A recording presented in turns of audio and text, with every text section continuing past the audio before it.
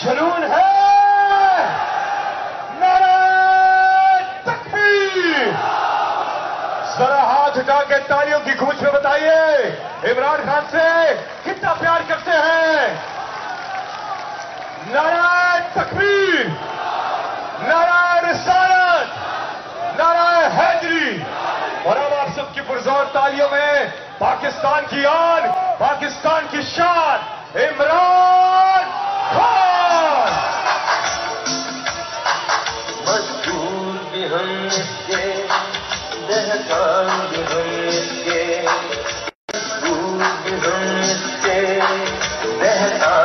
हम इसके अल्लाह की रजा से इसके अल्लाह की रजा से इसके रंग बसमीम या कराबदो या करास्ताइन मैं सबसे पहले अपने सारे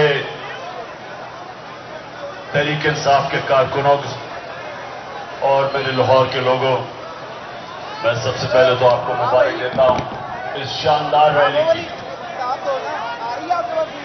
मुझे अफसोस है कि मैं आपके बीच में खड़ा होकर तकरीर नहीं कर सकता और उसकी वजह उसकी वजह यह है कि ये जो जनरल बाजवा ने हमारे ऊपर जुराइम पेशा लोगों को मुसलत किया और उसके अलावा एक डर्टी हैरी, इन्होंने मिलकर पहले मुझे वजीराबाद कत्ल करने की कोशिश की और उसके बाद इस्लामाबाद के जुडिशल कॉम्प्लेक्स में इन्होंने मुझे मारने की कोशिश की। लिहाजा मैं अपने नबी सल्लल्लाहु अलैहि वसल्लम के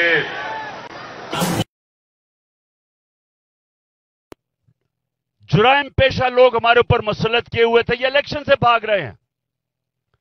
ये इलेक्शन तब करवाना चाहते हैं, जब ये समझेंगे कि ये जीत सकते हैं, जब ये समझेंगे कि इमरान खान रास्ते से हट जाए। इनका सिर्फ़ एक मकसद इलेक्शन ना करवाने का यह है कि किसी ना किसी तरह जेल में डालो या कत्ल करो, इमरान खान को हटाओ, तहरीक इंसाफ को कमज़ोर करो। जिस तरह परवेज लाई के घर में दरवाजे तोड़ के, डाकुओं की तरह इन्होंने उसके घर में हमला किया, मेरे घर में किया, लोगों को पकड़ा, अली मीन जैसा। एक हमारा जो टाइगर है, उसको कभी एक जेल से, कभी दूसरे जेल से। इसको इफ्तिखार गुमन जो मेरा सिक्योरिटी ऑफिसर उसको पकड़ के ले गए। हमारे कारकुनों को पकड़ रहे हैं। तो ये सिर्फ़ और सिर्फ़ इलेक्शन इसलिए नहीं करवा रहे कि तहरीक इंसाफ को कमज़ोर करना चाहते हैं, इमरान खान को रास्ते से हटाना चाहते हैं। सिर्फ़ एक मकसद है इनका। और हम आज पैगाम पहुँचा रहे हैं। ये गौर से सुन लें। हम आज यहाँ खड़े कोर्ट ने वाजे तौर पे, वाजे तौर पे उसने कहा है कि पंजाब का इलेक्शन होगा 14 मई को। उसने हमें कहा कि इनसे मुजाकरात करो। अगर ये इकट्ठे इलेक्शन के लिए मुतफिक हो जाते हैं तो फिर सिर्फ़ इसी वजह से पंजाब का इलेक्शन नहीं होगा मिलके जॉइंट इलेक्शन होंगे। कल हमने इनसे मुजाकरात में एक बात कहनी है कि अगर 14 मई से पहले आप अपनी असेंबलियाँ डिसॉल्व करते हैं, हम तैयार हैं जॉइंट इलेक्शन के लिए। 14 मई से पहले अपनी असेंबलियाँ डिसॉल्व करते हैं, हम तैयार हैं जॉइंट इलेक्शन के लिए। सिर्फ़ इसलिए कि चीफ जस्टिस हमें कह रहे हैं। लेकिन अगर ये बहाने मार रहे हैं कि बजट दे के तो उसके बाद इलेक्शन होगा। अगर ये समझते हैं कि हम इनके इस बदयानतदार मंसूबे के अंदर आ जाएँगे, फंस जाएँगे और इंतज़ार करेंगे कि जी सितंबर में इलेक्शन होगा, किसी गलत फहमी में ना रहें। 14 मई से पहले आपने असेंबलियाँ ना डिसॉल्व की। हम सुप्रीम कोर्ट के पास कहेंगे कि जी, हमें पंजाब का इलेक्शन चाहिए और पख्तूनख्वा का इलेक्शन चाहिए, क्योंकि आइन कहता है कि नब्बे दिन में इलेक्शन होना है। यह हमारा हक है। यह हमारा आईनी हक है। और अगर इसके ऊपर ये नामुतफिक हुए, अगर ये इन्होंने सुप्रीम कोर्ट को, सुप्रीम कोर्ट का जो वर्डिक्ट है वो ना माना, अगर इन्होंने कंटेम्प्ट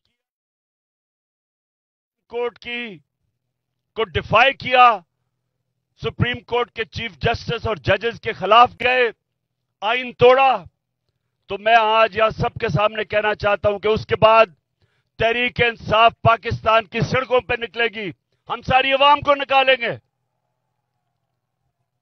हम किसी सूरत अगर ये समझते हैं कि सिर्फ़ और सिर्फ़ इसलिए ये अपनी हुकूमतें बना बचाने के लिए इलेक्शन से भागने के लिए इलेक्शन के अंदर शिकस्त की वजह से, उसके खौफ की वजह से, अगर ये इलेक्शन से भागेंगे, आइन तोड़ेंगे, सुप्रीम कोर्ट के फैसले के खिलाफ जाएँगे तहरीक इंसाफ अपने सुप्रीम कोर्ट के साथ भी खड़ी होगी, चीफ जस्टिस के साथ भी खड़ी होगी, पाकिस्तान के आइन के साथ भी खड़ी होगी, और जो भी हो ये मुल्क की सड़कों के ऊपर हम निकलेंगे, जो आज तक हम सिर्फ़ अपने माशी हालात की वजह से हमने बड़ा पुरमन एहतजाज किए, जलसे किए, घर चले गए, जिस तरह आज कर रहे हैं।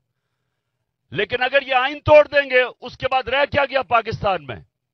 उसके बाद तो जंगल का कानून है। उसके बाद ना तो किसी मजदूर का कोई हकूक रह गए हैं।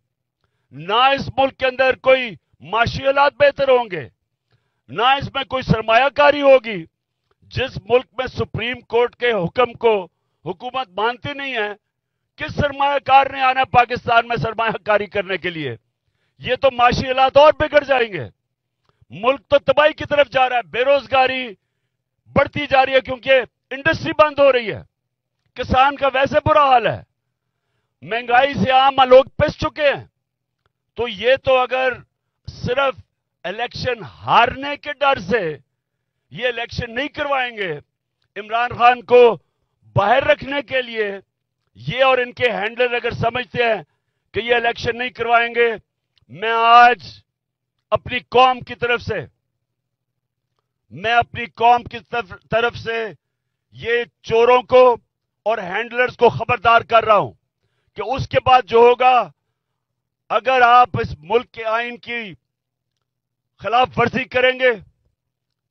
अगर आप ये समझते हैं कि आप सुप्रीम कोर्ट के फैसले नहीं मानेंगे तो उसके बाद मेरी कौम मेरे साथ निकलेगी और इंशाला पाकिस्तान की सड़कों पर निकल के हम पाकिस्तान के अंदर कानून की हुक्मरानी कायम करवाएँगे रूल ऑफ़ लॉ कायम करवाएँगे और इसके लिए आप सब तैयार हो जाएँ। सारी मेरे नौजवानों, आप सब तैयार हो जाएँ। क्योंकि ये आज़ादी की जंग है। ये है हकीकी आज़ादी की जंग कि जिस मुल्क के अंदर अगर आइन की किसी को परवाह नहीं, यानी कानूनी कोई परवाह नहीं ताकतवर को तो वो मुल्क तो जंगल का कानून बन गया। वहाँ तो बनाना रिपब्लिक बन गई वो मुल्क। उस मुल्क में तो ताकतवर फैसला करेगा कौन सा कानून उसने मानना या नहीं मानना। तो इसलिए आज हमारी रैली अपने सारे कमज़ोर तबके के लिए मजदूरों के लिए पाकिस्तानी अवाम के लिए, कानून की हुक्मरानी के लिए आज हम निकले हुए हैं। और मैं आज सबको फिर से आखिर में कहता हूँ कि आप तैयारी करें। ये अगले हफ़्ते के अंदर पता चल जाएगा। दूध का दूध, पानी का पानी हो जाएगा। सारी कौम को पता चल जाएगा कि क्या इस मुल्क में कानून की हुक्मरानी है या जंगल का कानून है। और मेरी कौम इंशाला जो सत्ताईस साल पहले हमने इंसाफ की तहरीक शुरू की। हमको नासिर बाग पहुँचना है।